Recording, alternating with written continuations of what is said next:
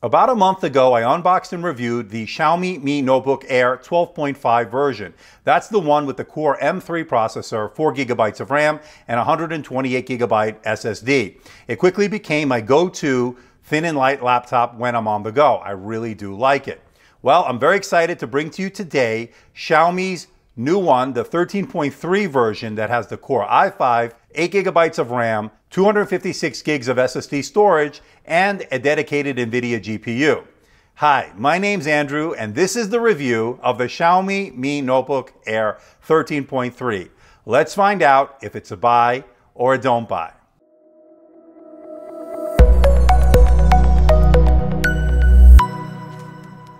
If you watch my channel, you know I'm a big fan of the Xiaomi Mi Notebook Air 12.5. That's the Core M3 version.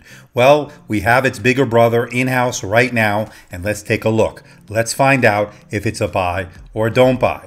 What you get is more RAM, more storage, and a dedicated NVIDIA GPU. And a higher price tag. What you get under the hood is the Intel Core i5 Skylake processor. It's a 6200U variant, Intel HD Graphics 520, the NVIDIA GeForce 940 MX GPU, 8GB of RAM, and 256 gigs of SSD storage. It weighs 2.74 pounds, is only 0.58 inches thick.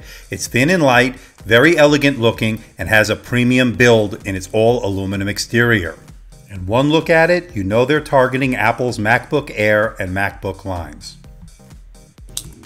I ordered my unit from banggood.com. I will put the link below to where you can find out more information and where you can purchase it. It took about a couple of weeks to come all the way from Singapore through Hong Kong and then into the United States. Opening the box, you're greeted by a very MacBook-esque packaging, a cue they've taken from Apple in Cupertino. Opening the box, you're greeted by the Mi Notebook Air itself, along with some documentation. Unfortunately, just like the 12.5 inch version, the documentation is all in Chinese, not much use for me. And here you have the power supply. It charges the unit to 50% in about 30 minutes. It also uses USB Type-C, just like the 12.5 inch version. Overall, the packaging is really first rate and really is elegant looking. Good job, Xiaomi. It's good to see that this has an HDMI port where you can connect to a monitor.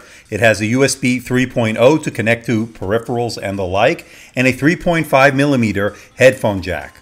Moving to the other side, you get a second USB 3.0 port, unlike the 12.5 inch version, and here you have your USB Type C. That's where you'll charge the device. And you have a microphone. On the bottom of the device, you have a vent for cooling because since this is a Core i5, there are two fans in the device and there are two speakers.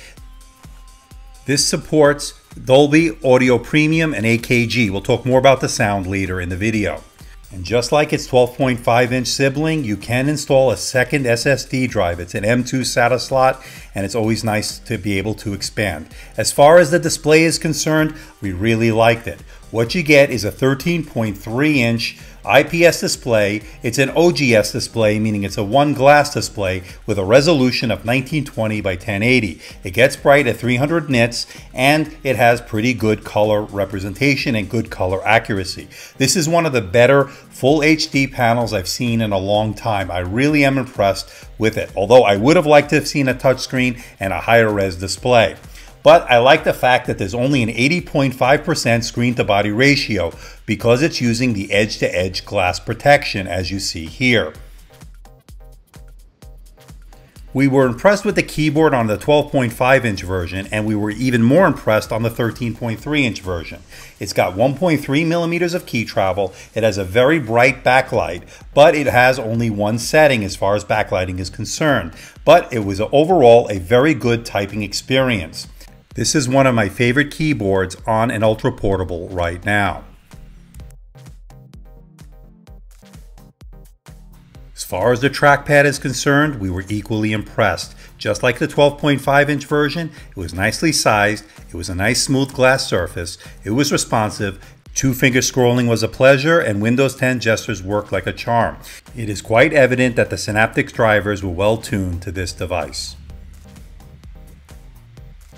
As far as the sound is concerned, again, it uses the AKG and Dolby Premium audio. Let's take a look and a listen at our latest video to see how the sound is on this device. Apple released the iPhone 7 and 7 Plus a couple of weeks ago, and I've been using the 7 Plus ever since.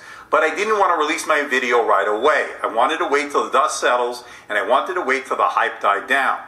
Hi, my name's Andrew from AMD Tech, and this is our review of the iPhone 7 Plus from Apple. Let's find out if it lives up to its high price tag. Let's find out if it's a buy or a don't buy.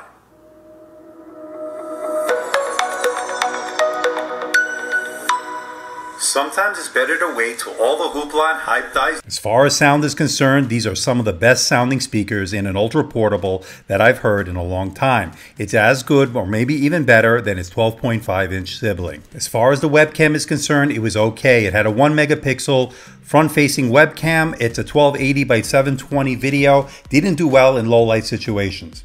As far as performance is concerned, here's how it did on the Geekbench 4.0 test. On the multi-core score, it did a 5817, pretty good. The built-in Intel HD Graphics 520 did a 15,425 on the API score. But where it really shines is its dedicated NVIDIA GPU, which did a 27,464 on the API score. That's why this Q can do some gaming on this laptop. I will be doing a separate video on gaming and thermals coming very soon. The Xiaomi Mi Notebook Air 13.3 uses a Samsung PCIe SSD. And because it uses a PCIe SSD, it did do very well on the reads. It did a 1534 on the read and a somewhat pedestrian 308 on the write. I was a little surprised on the write scores, but overall, very fast SSD. It uses Bluetooth 4.0 and has Intel dual band wireless AC. Overall, very good wireless reception. As far as the Octane 2.0 score, it did a 26,895. Overall, good scores, better than the M3 version. As far as the battery life is concerned, here's the deal. When it was idle, without wireless LAN on, with minimum brightness, it did 9 hours and 21 minutes. Wi-Fi surfing with the Edge browser did 7 hours and 2 minutes. Watching a movie H.264 at 1080p, 7 hours and 12 minutes, and under heavy load it did a little over 3 hours. Overall battery life was good. So overall, is the Xiaomi Mi Notebook Air 13.3 a buy or a don't buy? Is it worth the premium you're paying over the 12.5 inch version? And I'm gonna have to say it's a definite buy. I like its bright full HD display. It's got good speakers, decent battery life, fast SSD read speeds, that extra SATA M2 slot to expand storage, full-size HDMI, two full-sized USB ports, and a great keyboard and trackpad to boot. But here's what I don't like about the device. First, it doesn't have a touchscreen. It's only a 1080p display. I was hoping they would go with a higher 2K or maybe even a 4K display. It has only one level of backlighting on the keyboard, although I did like the keyboard very much. It doesn't have an SD or micro SD card slot. It had a subpar webcam in low light situations that didn't perform well, and it was expensive outside of China and it comes with a Chinese version of Windows, but I was able to convert it to English without any problem and without any need for any additional keys by using the Windows Media Creation tool. It's been working fine on this and the 12.5 inch version. It also runs a little hot under heavy load and when you do some gaming. I will be doing a separate gaming video along with the thermals coming very soon. But despite those few negatives, this is a definite buy, and that's why I'm going to give it an 8.5 out of 10. So what do you think about the Xiaomi Mi Notebook Air 13.3? Is it something you're interested in? Are you thinking about getting it? Do you already have it? Do you think its price is too expensive outside of China where the retailers have tagged on a few extra dollars because of its rarity at this point? It's not so readily available. I have to say, I think it is a little bit overpriced, but I really do like it. I love the build quality. It's very premium looking. I love the fact that it really does look and maybe even some cases even better than a MacBook Air or MacBook. But I'm curious to know, so leave a comment in the comment section below. Is this something you're thinking about picking up? And I'm also thinking about doing a head-to-head -head comparison between the 12.5 Core M3 version versus its bigger brother. And I'm also doing a head-to-head showdown between the 13.3 inch version and the Surface Book. Both have dedicated NVIDIA GPUs, but both go about it in a different way. One has a touchscreen, obviously, and the other one doesn't. One has pen support and the other one doesn't. Either way, stay tuned. That is coming very soon. Also coming very soon is the very special unboxing and review of the Razer Blade Stealth. That's a 12.5 inch Ultrabook from the gaming OEM. That's Razer. And a little bit unusual in the sense that this is not so much a gaming machine unless you attach the Razer Core. We'll talk more about that in the review coming very soon. But what I do like about it is it's got a nice design, a nice departure from the boring OEMs that we've been seeing, the boring designs we've been seeing from these OEMs, a little color to spice things up. I love the Chroma keyboard, the fact that it has multicolored uh, lighting, backlighting on it. I really am looking forward to unboxing it and giving it its full treatment as we normally do here at AMD Tech. So stay tuned for that. So please hit the like button, please subscribe, please share this video. Don't forget to leave a comment in the comment section below. Let me know how I'm doing. Let me know if there's a device out there you think I should review. I will do my best to try to make that happen.